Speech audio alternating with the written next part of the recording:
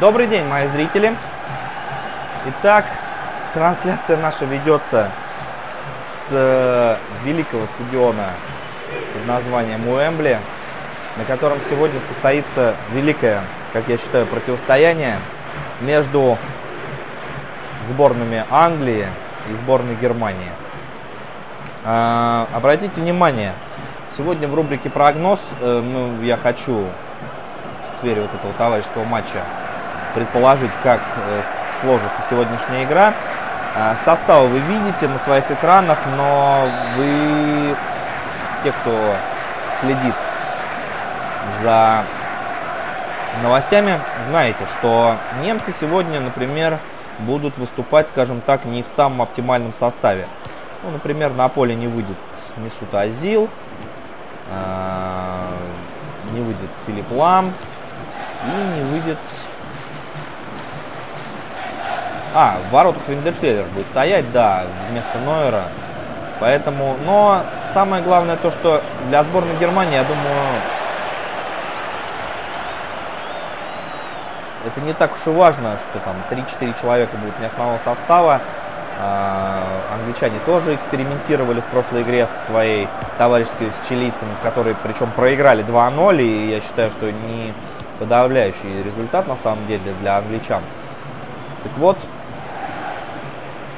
в данном противостоянии, э, если составы будут не, не совсем оптимальные, это не значит, что игра будет хуже.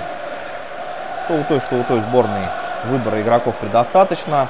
А вот кто в какой форме находится, это уже спорный вопрос. И насколько придает важность этому матчу, учитывая, что игра товарищеская, и учитывая, что ну, большинство из этих игроков играют в ведущих клубах мира и в большей степени, наверное, задумываются о своей судьбе в внутренних чемпионатах или в Лиге чемпионов.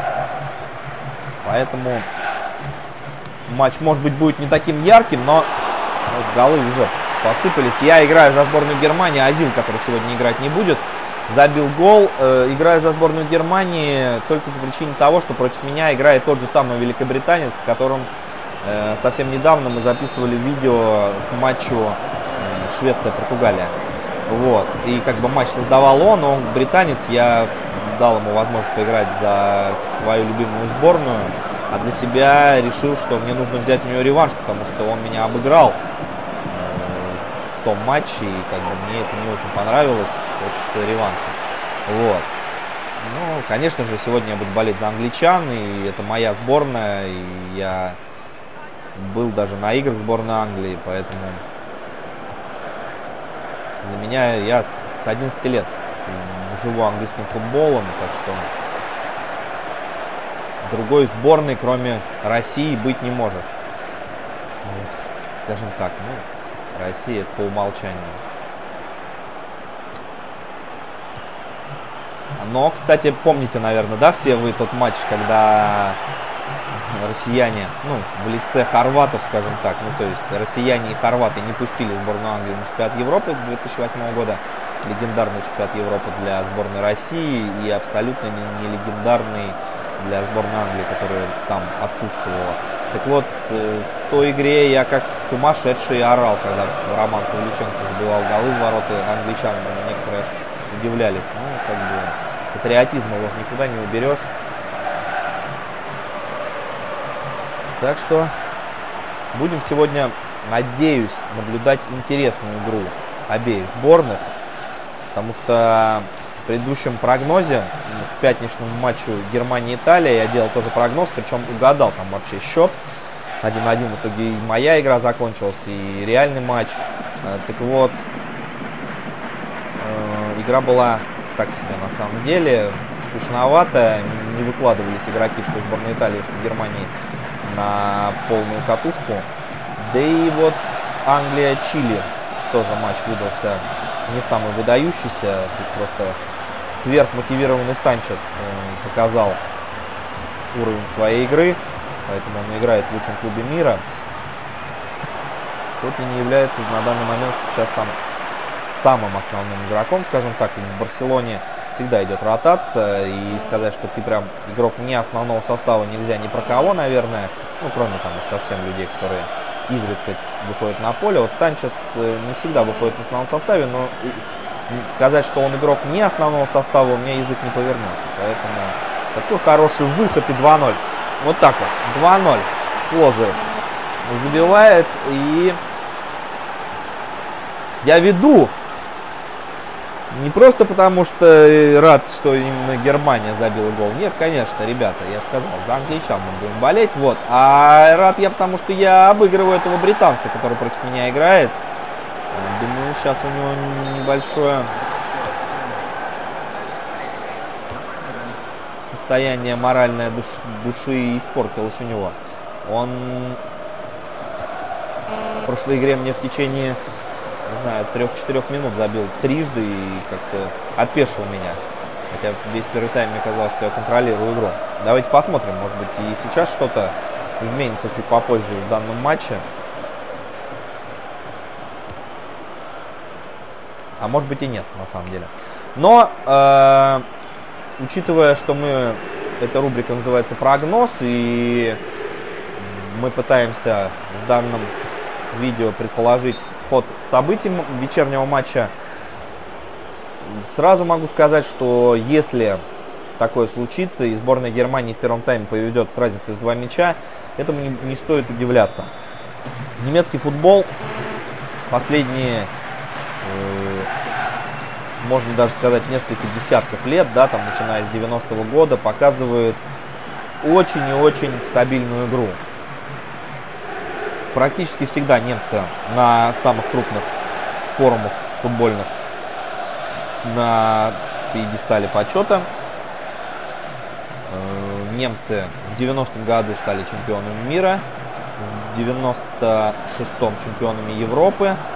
Э, остальные турниры они либо проигрывали в финале, как в 2002-м э, бразильцам и в 2008-м испанцам, либо занимали третье места, там, когда проиграли вот Италии, а, обиднейшее поражение было на чемпионате мира домашнем. Ну, немцы стабильные, стабильные. А англичане это команда надежды, как я ее называю. И самое обидное то, что э, команда надежды, надежды пока своих болельщиков никак не реализует, потому что уже даже некоторые игроки из того золотого поколения англичан, типа Бекхэма и Скоуза, к сожалению, не... Ну так, 3-0. Счет становится плотным, великолепный гол забивает.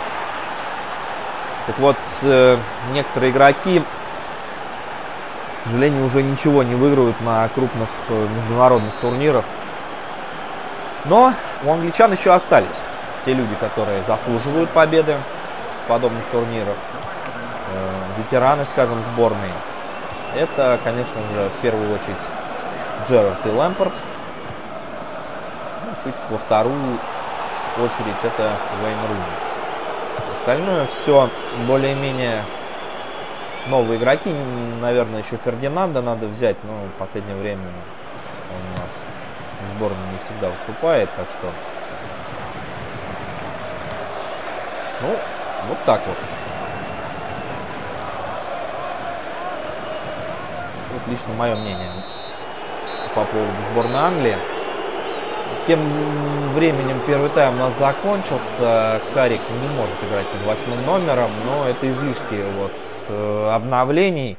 Играем мы в онлайне, и почему тут номера не изменяются. Я просто даже в настройки не заходил. Ну, не судите строго.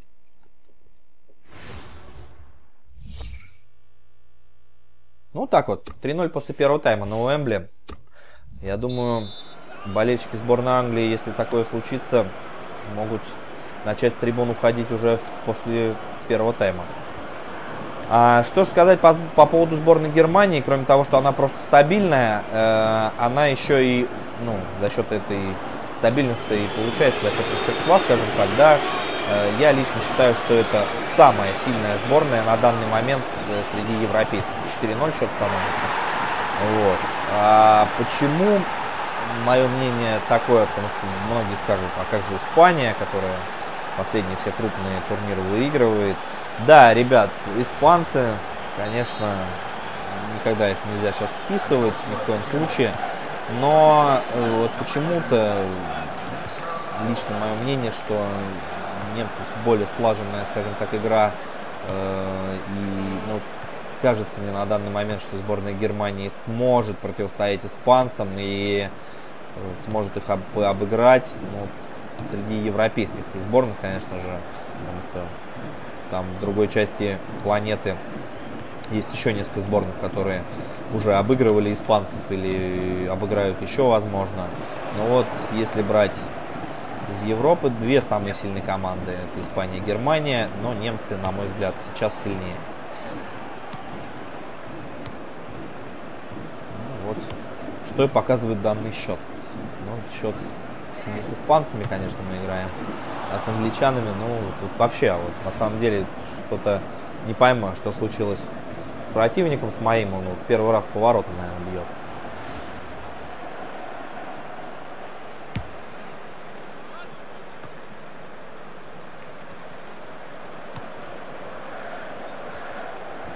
А, если вспоминать историю противостояния этих сборных, она, естественно, очень обширная.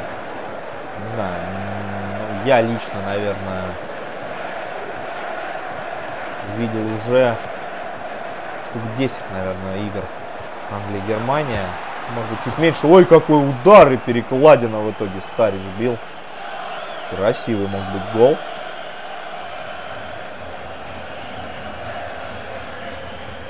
Так вот, э, больше всего, что мне запомнилось, это, наверное, матч 96 -го года, э, чемпионат Европы, который проходил в Англии, и полуфинал Англия-Германия где всего лишь по пенальти немцы смогли одолеть англичан.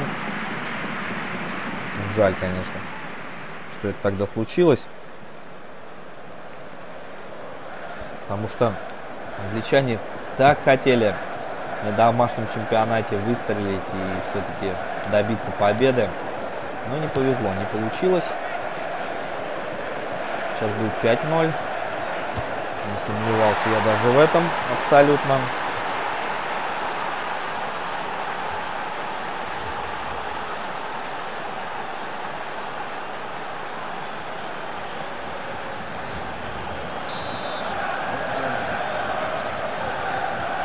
Вот. И вот тот матч, конечно, произвел на меня сумасшедшее впечатление на мой молодой мозг, когда еще чересчур яростно болевший за свою сборную. Был я очень расстроен поражением. Ну, а другие игры там, групповые этапы были 1-0, там мало забитых мячей, скажем так, но всегда, а самое главное то, что болельщики сборной Германии и Англии еще и между собой противостоят друг дружке. Помните, как на Евро 2000, да, там устроили перед матчем Англии-Германии. Такое вообще побоище англичане. Это, кстати, одни из последних годов, когда английские фанаты что-то громадное такое устраивали, потому что после этого ввели вот эти законы, когда их перестали просто пускать на все форумы, крупные турниры, дебашир именно, я имею в виду. Чуть счет 6-0 не стал сейчас.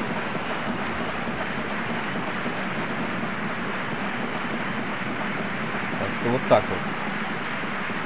Англия, Германия, это всегда интересно. Будем надеяться, что а, сегодня вечером будет тоже очень интересно. И как альтернатива с таковым матчем за выход на чемпионат мира, подобная игра будет не хуже смотреться. И я вот, например, каналы буду иногда переключать. Скорее всего, а, это будет то же самое, так же происходить, как и в пятницу. На одном из каналов будут показывать украинцев. Я еще не смотрел телевизионную программу. А вот, ну, Англию, Германию не могут они пропустить просто.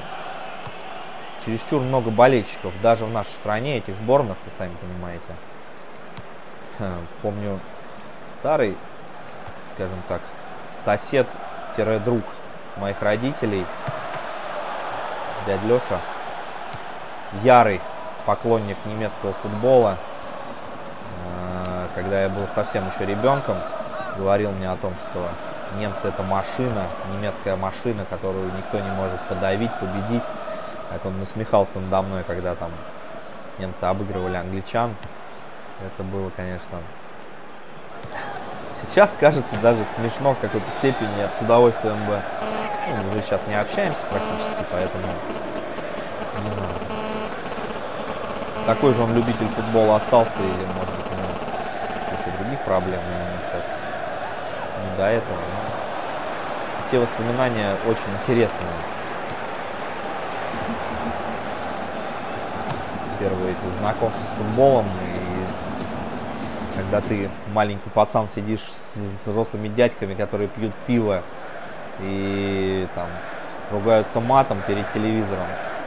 Да, конечно, эффект меня производили определенный.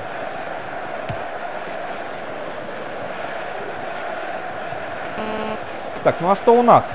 У нас пока со стороны английской сборной все очень скучно, а со стороны немецкой сборной все очень прагматично, скажем так. А, вот иногда только Нойер выручает. А некоторые из игроков пытаются увеличить свою результативность. Но на самом деле уже я бросил играть. Как-то реванш мне чересчур легко удался. Ожидал я больше борьбы в этой игре. Ну, 5-0 так 5-0. Главное, вот, ну что, он замены хочет сделать. Или ему надоело тоже играть. Вот, мне аж телефон зазвонил тут. Извиняюсь. Не знаю, я не буду замены делать. Это не стоит сейчас того. Почему он паузу нажал? Сейчас проверим. Да, смотрите, Бейнса хочет поменять. Кстати, очень надеюсь, что этот человек в зимнее трансферное окно окажется в Манчестер Юнайтед. Э, читал недавно интервью одно где и Велбок вместо Стариджа, э, где написано было о том, что Бейнс уже попросил руководство, не Бейнс точнее, а главный тренер э, Эвертона попросил уже э, скаутов клуба подыскать им на, игрока на замену вместо Бейнса, потому что тот э, договорился вроде как, что его отпустят в Юнайтед, он хочет к Мойсу вернуться. Вот. Вернуться к Моису. Ну и перспектива играть в Лиге Чемпионов, естественно. Надо ему расти. Бейнс очень хороший игрок.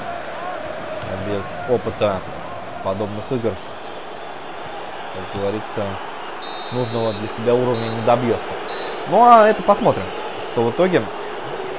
Клоза делает хет-трик, Азил дубль. Э, сегодня так точно не будет, потому что Азил играть 100% не будет. Но посмотрим, какой в итоге счет получится. Хорошего всем вечернего просмотра. И до скорых встреч. До свидания.